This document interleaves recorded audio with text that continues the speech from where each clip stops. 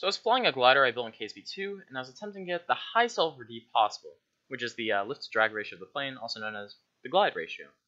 Uh, the glider I'm flying here, gets about 60 to 1, which means every 1 meter I lose, I go forward 60 meters. And I use a high aspect ratio wing because they have less induced drag than uh, shorter wings. Or do they? So to figure out uh, how KSP2 treats these different aspect ratio wings, we first need to know what aspect ratio is. So it's the length of the wing by the width of the wing. It's super easy. Now, long aspect ratios, like the glider on the left, have way, way longer wings than the, the one on the right.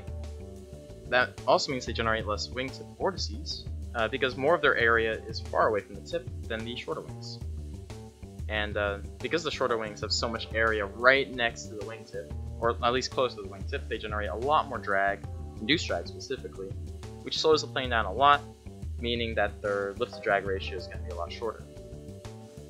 So for the first test, we used our uh, nice short aspect ratio glider, and we just brought up to altitude, and we slowed down to around 27 meters a second. That's where I'm testing on my uh, my glide ratios.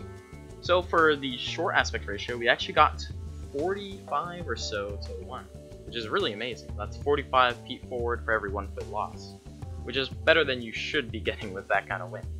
And then we tried the same with our long wing glider, which is just the opposite aspect ratio. So instead of being like one unit long, it's one unit wide. And it actually got the exact same value, which means KSP2 does not simulate wings vortices, meaning your gliders can have any shape of wing they want and they'll have the same efficiency as long as the area is the same.